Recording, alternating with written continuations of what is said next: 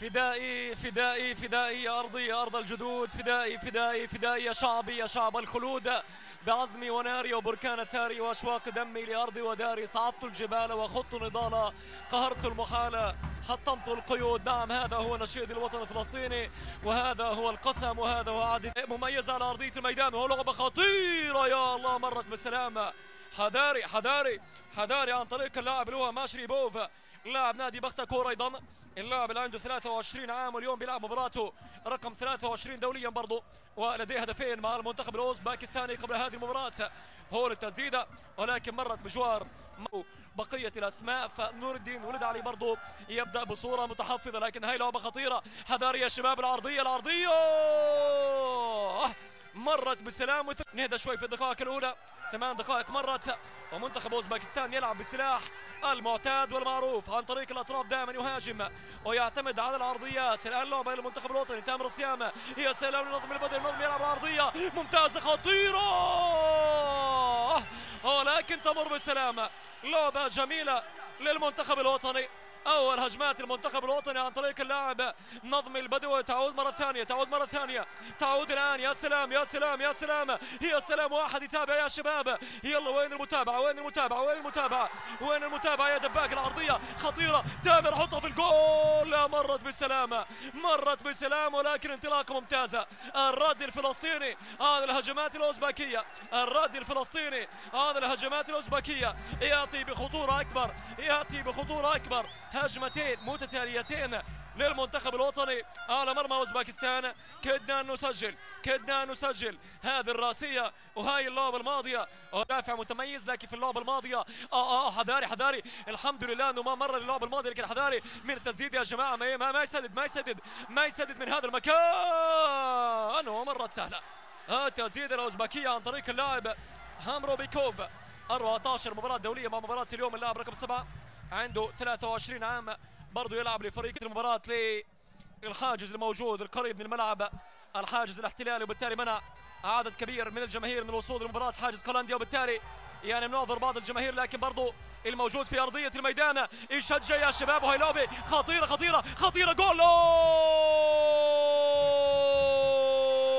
تصدى للعبة الماضية عودي الدباق في التسديد المتابع من نظم البدوي يا الله! يا الله لو كنا محظوظين اللعبة الماضية كان ممكن تعمل كوبري وتروح بين أقدام الحارس. ولكن هجمة مهمة في هذا التوقيت من عدي الدباب ابتلاء ورقة العبور لكأس العالم بعد المرحلة النهائية. لعبة جميلة من جانب محمد درويش عمل كوبري وأعطى الكرة الأمامية لمحمود وادي لكن برضه تقطع الكرة وتعود للمنتخب الوطني. يا تامر يلا يا تامر يلا يا تامر يلا يا تامر هي جول هي جول هي جول. فرصة خطيرة للمنتخب الوطني. على مرمى اوزباكستان آه لكن مرت بسلامة مرت بسلامة. الله الله الله الله على الفدائي التسديدة ثم الركلة من عدي الدباغ. كملها كملها يا مخرج. هاي اللوبي هاي اللوبي هون التسديدة وعدي الدباغ. آه لم يكن محظوظة لم يكن محظوظة. مهاجم السالمي الكويتي ولاعب المنتخب الوطني. انتقاص من حقوق الشعب الفلسطيني. فهذا أكبر حافز للاعبين أبطالنا. أكبر حافز. هاي لعبة عالية. مرت مرت مرت اللعبة الماضية برأسية اللاعب علي باييف لاعب نادي سيول الكوري. شو اللي صار في اللعبة الماضية؟ مين اللي تركه يمر يا بهداري؟ يا الله يا الله يا الله. الحمد لله بأن اللعبة الماضية أتت على رأس اللاعب علي باييف. لاعب وسط الميدان مش على رأس اللي هو شو مردوف يعني أمام الفلبين قبل دخولي لنقول يعني كابينة التعليق على المباراة! يا الله يا الله يا الله.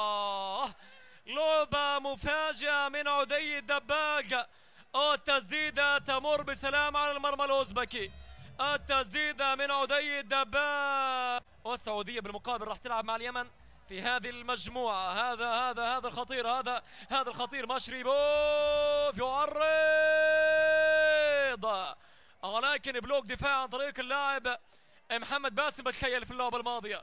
أنا شومردوف هذا اللاعب اللي حذرت منه كثير اللاعب المهاجم بالرقم 14 شوف اللعبة الماضية؟ شوف اللعبة الماضية؟ شومردوف وهي والله البهداري البهداري البهداري.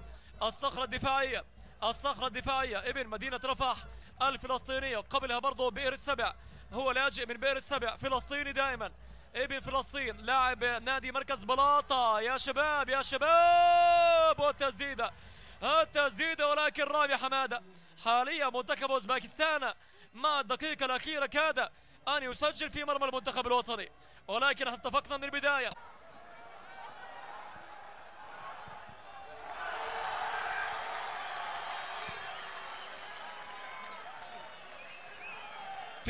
الوطني الفلسطيني لكرة القدم مع المنتخب الأوزباكستاني بعد شوط أول.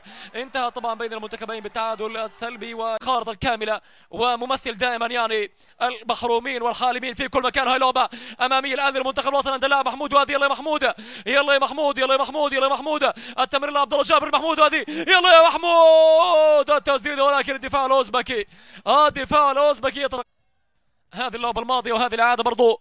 لتسديدة اللاعب محمود وادي. اليوم هاي لعبة للمنتخب الأوزبكستاني. انطلاقة خطيرة الآن. حذاري حذاري! ولكن البهداري البهداري يرد. برج المراقبة الدفاع يرد. وهي هجمة مرتدة للمنتخب الوطني. نظم البدوي نظمي البدوي. يلا يا نظمي يلا يا نظمي يلا يا نظمي لعبة عالية أمامية خطيرة خطيرة. يلا خطيرة! جول جول! جول جول جول جول جول جول! all the way in the back.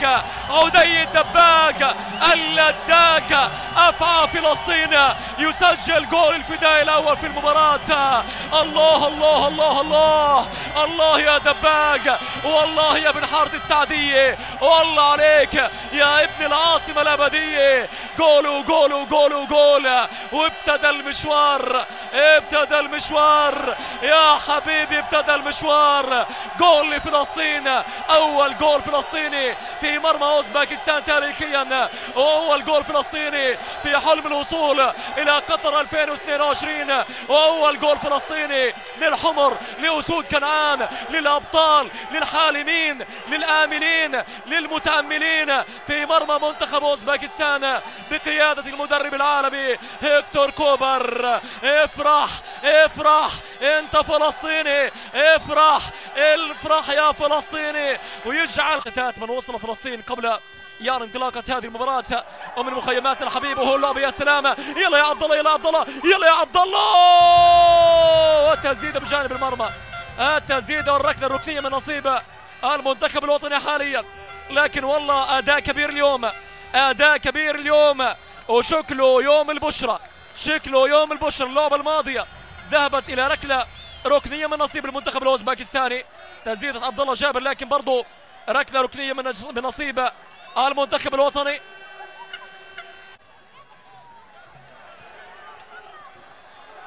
سجلنا عن طريق اللاعب ودي الدباق وهون البهداري. يا عين عليك. يا عين عليك يا بهداري. يتدخل ببراعة كبيرة أمام المهاجم شومردوف هذا اللاعب الذي يلعب في فريق روستوف الروسي. وعلى فكرة في الشهر الماضي فاز بلقب أفضل مهاجم أو أفضل لاعب حتى في الدوري الروسي. يعني لعبنا الكرات الأرضية مقارنة بالكرات الطولية اللي ممكن كمان منتخب أوزبكستان ياخذها بسرعة ويرجع يهجم على مرمى المنتخب الوطني. فنحاول يعني نركز على هذا الجانب.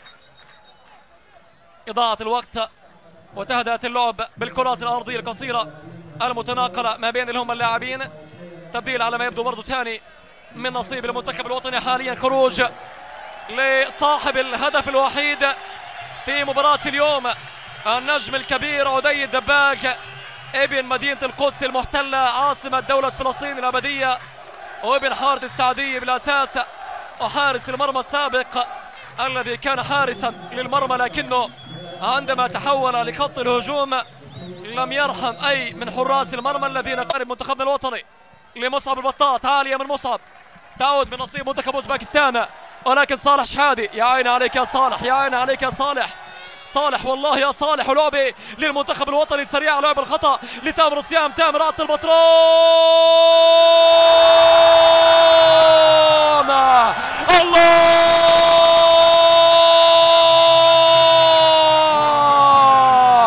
الله الله الله الله الله الله اكبر الله اكبر الله اكبر نصر فلسطين نصر فلسطين.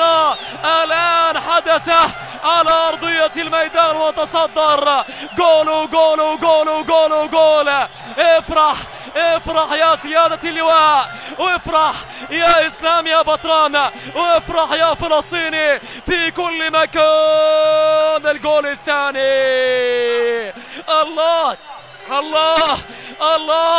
ثم الله الجول الثاني الجول الثاني. كان حلما كان حلما فخاطرا فاحتمالا. ثم أضحى حقيقة ثم أضحى حقيقة. لا خيالا لا خيالا. جول جول جول جول حلم هذا حلم. هذا حلم الفلسطينيين هذا حلم العاملين هذا حلم العاملين. وهذا المنتخب هذا المنتخب. اثنين لا شيء للمنتخب الوطني اثنين لا شيء لأسود كنعان اضرب يا بهداري اضرب بالثالث اضرب بالثالث اضرب بالثالث. تاريخية. آه آه آه آه آه الفداء اليوم. الله على أبطال اليوم. واحدة من البهداري ثانية من نظمي ثم صالح شحادي كاد أن يسجل كاد أن يسجل الثالث للمنتخب الوطني.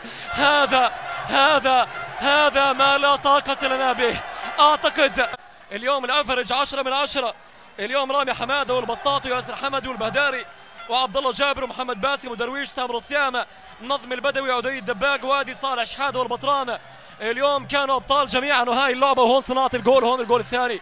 شوف اللعبة شوف التنظيم شوف العرضية شوف الفدائي اليوم اللي بيعمل واحد من بين أفضل مبارياته تاريخيا. أمامها ولم تضر يوه يا الله يا صالح! مش معقول اليوم صالح شحاده الذي دخل بديلا كاد أن يسجل الجول الثالث للمنتخب الوطني لكن مهاجم ما شاء الله هجام هجام يسدد لكن الثاني سجلنا الجول الأول رحنا وسجلنا الثاني. منتخب أوزبكستان الآن لا يعرف ماذا يدور لكن حذاري يا رامي اللعبة. اعمل خطأ. ورامي حماد الله عليك. الله عليك. نعم بنصفق لك يا رامي. بنصفق لك يا رامي. أخطأ في اللعبة الماضية لكنه عاد سريعا وصحح خطأه في اللعبة الماضية. لكن هذا اللي عماله بيصير على أرضية الميدان. يعني أعتقد ثمن إنه إحنا بنتعجل في في الهجمات وفي إنهاء مع إنه إحنا متقدمين بنتيجة مريحة اثنين لا شيء فمرها وسلام على منتخبها واللعبة الأمامية والعودة مرة ثانية وإبعاد من محمد باسم. وانتهت انتهت انتهت انتهت الحلم اللي كان خيال. كان حلما فخاطرا فاحتمالا ثم صار واضحى حقيقة لا خيالا خلاص المنتخب الوطني الفلسطيني يحقق أكبر مفاجأة في الجولة الأولى من تصفيات آسيا المزدوجة إلى بطولتي كأس العالم 2022 كأس آسيا 2023 ويجبر منتخب أوزباكستان عاشر القارة الآسيوية المنتخب الذي يقوده مدرب عالمي هو هك مبارك اليوم لكل فلسطيني في كل مكان. وشكرا لأبطالنا للاعبينا لنجومنا لأسودنا على أرضية الميدان للوحوش التي قاتلت وكأنها تلعب مباراتها الأولى أو الأخيرة. وهزمت منتخب أوزباكستان وحققت المفاجأة. مشاهدينا متابعينا إخواني أعزائي وأحبائي يعني مصر كبير ومباراة عظيمة تاريخية. أكيد اليوم شاهدتوها عبر قناة فلسطين الرياضية. نأمل أن يعني نتابع دائما انتصارات المنتخب الوطني وأن تكونوا أنتم بخير.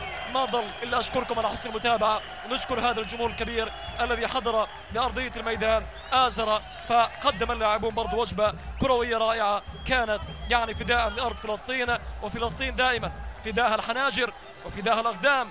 وفداء العرق وفداء أصواتنا وكل شيء فينا وبالتالي مبروك لفلسطين مبروك لكل فلسطيني في كل مكان مبروك يا ياسر مبروك لكم جميعا بنشوفكم على خير. دائما شكرا لكم من طاقم عمل قناة فلسطين الرياضية ولكم مني برضو خليل جاد كل تحيه أراكم على خير في لقاءات قادمة في تقبل تحياتي وإلى لقاء يعني قادم. جاي والى اللقاء خلاص يعني مباراة كبيرة الواحد مش عارف يدرككم ولكن بالنهاية هذه صور لانتصار المنتخب الوطني. خليكم معاها وبنشوفكم على خير. وإلى اللقاء.